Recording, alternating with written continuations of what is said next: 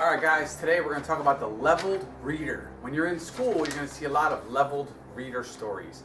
Now I consider myself an average reader, maybe below average, but I like to watch videos to learn. But you're always going to have to read in life. So let's show you how to conquer the leveled reader. So first, here's a leveled reader. This one's on golf.